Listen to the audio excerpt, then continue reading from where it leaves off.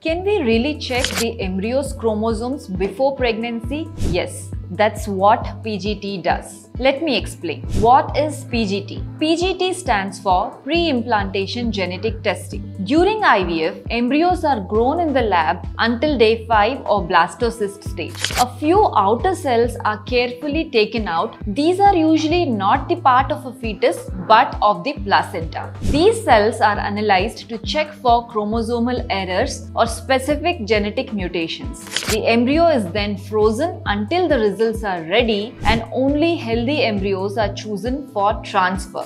There are three types of PGT test. PGT-A screens for chromosomal number abnormalities such as Down syndrome. PGT-M stands for single gene disorders such as thalassemia, cystic fibrosis and PGT-SR checks for structural abnormalities. Who needs PGT? PGT is recommended when the woman's age is more than 35, when there is higher risk of abnormal eggs, couples with recurrent IVF failures or repeated miscarriages, carriers of genetic diseases or translocations, severe male factor infertility with very high DNA fragmentation, and even in couples with a previous child affected with a genetic disease. By identifying genetically normal embryos, PGT improves IVF success rate, reduces the risk of miscarriages, prevents transmission of serious genetic diseases. But we need to remember that it's not for everyone. It adds costs and requires IVF. The decision should be individualized only after a proper genetic counseling.